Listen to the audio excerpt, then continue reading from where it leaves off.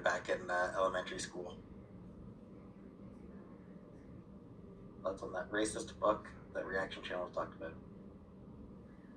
I have no idea what book you're talking about or what channel you're talking about. Hmm. I have no idea what the hell you're talking about. Everyone, before I go to sleep, I want to say I had a lot of fun today with my live and in general.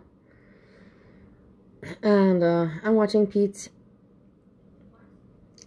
And the thing is, is that, uh, yeah, your mama expressed that he is very upset with me because uh, he realized that that for him was a no-go. It's it's not even really about me with the because he knows that there's no evidence for stories are stories but and in the end he doesn't what for him was a no-go is that that i was writing emails also to uh foodie beauty's ex-boyfriend and for them for him that was fucked up and i get it that was fucked up it's like whoa you know how many faces do you have and it was fucked up i even said to you guys it is so messed up and i agree it's messed up and i know that it looks like shit and i I am shit, but it was just I the thing with uh Foodie Beauty's ex boyfriend with the restaurant Bali, you know.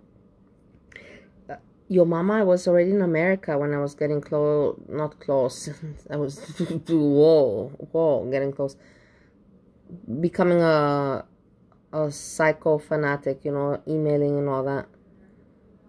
That was when I was already in America, not in, in Bali, was when I was writing Foodie ex-boyfriend about the restaurant. But yes, I was still writing, and he has a reason. But that was the whole point. point, and then that's why also uh, Pete, Pete canceled the friendship with me, and he also has the same reason. And I agree with these people. I don't. I'm not mad that they. It was a shit thing. I have no excuse. I cannot say anything except, yeah, it was fucked up. More than that, I cannot say. I cannot say, well, well, but, but. I cannot. There's no well and there's no but. It was fucked up. That's it. Finish that I was uh, writing to that asshole. It is what it is. I made a mistake. I already apologized. Much. What more can I still say about it? But uh, I'm just looking at Pete's and Pete's helped me a lot because uh, he's autistic and he's very similar to Steve. And Steve and him get along. Steve likes to watch Pete's very much from everybody from YouTube.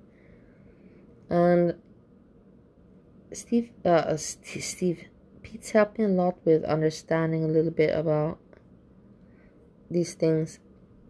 So I have to, I have a lot of thankfulness and gratitude to give to Pete because I was already connected and relating to Girl World, and through that, and through Pete's uh, giving me some advice, he helped a lot.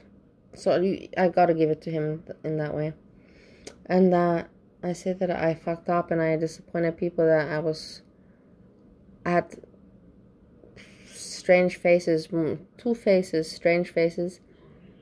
But I'm not a bad person in the end. You guys know me. You, every day you see what I say and what I do nowadays. And I always say when I did wrong, I say, yeah, that was fucked up. Like I'm saying, no, that was fucked up. And I say it's fucked up. And uh, it is what it is, but at least I know it's fucked up. And understand some people can forgive and some people cannot. Uh, your mama cannot forgive. Pete cannot forgive. It's all right. I get it. It's, it's okay. But that doesn't mean that I'm a bad person.